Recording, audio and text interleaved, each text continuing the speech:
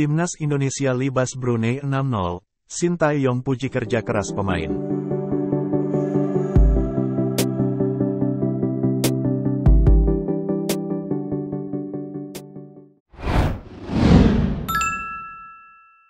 Sintayong memuji kinerja para pemain timnas Indonesia usai meraih kemenangan besar atas Brunei pada leg kedua babak pertama kualifikasi Piala Dunia 2026 zona Asia.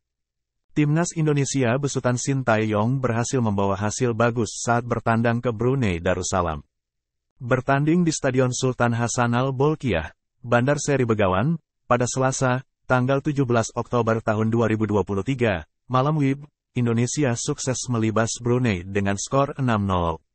Hasil tersebut membuat timnas Indonesia lolos ke babak kedua kualifikasi Piala Dunia 2026 zona Asia berkat kemenangan agregat 12-0 atas Brunei. Usai laga, Sintayong menyampaikan pujian kepada para pemain timnas Indonesia. Juru taktik asal Korea Selatan itu mengatakan bahwa personel skuad Garuda telah menunjukkan kerja keras di lapangan. Kami bandingkan skuad pertandingan pertama dengan yang kedua.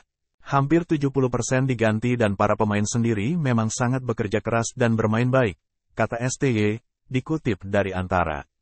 Sementara itu, Hoki Caraka yang mencetak gol perdananya bersama skuad Garuda Senior berterima kasih kepada Sintayong karena diberi kesempatan main sejak awal.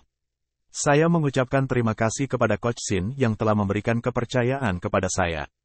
Ini adalah kerja keras tim sehingga saya bisa mendapatkan hasil maksimal. Semoga permainan kami semakin membaik, ucap Hoki. Berdasarkan hasil undian, Timnas Indonesia masuk grup F pada babak kedua kualifikasi Piala Dunia 2026 zona Asia. Di babak kedua, skuad Garuda bakal bersaing dengan Irak, Vietnam, dan Filipina. Rangkaian pertandingan babak kedua kualifikasi Piala Dunia 2026 zona Asia bakal dimulai pada tanggal 16 November tahun 2023 mendatang. Terima kasih sudah nonton. Jangan lupa like, subscribe, dan share ya.